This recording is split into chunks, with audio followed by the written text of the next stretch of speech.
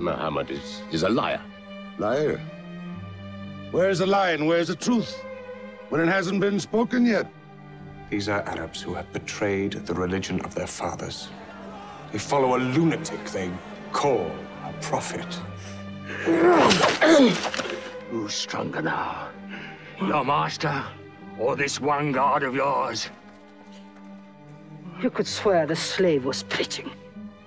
To this inhumanity has come a man whom God chose.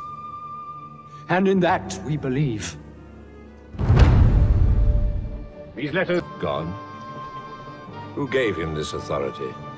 God sent Muhammad as a mercy to mankind.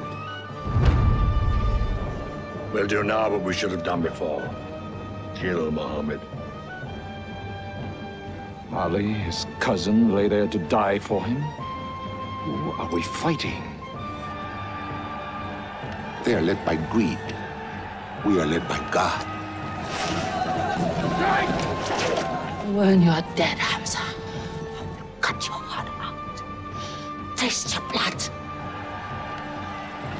These are the disciplines the prophet puts upon you. You may not harm a woman, a child, or any old person.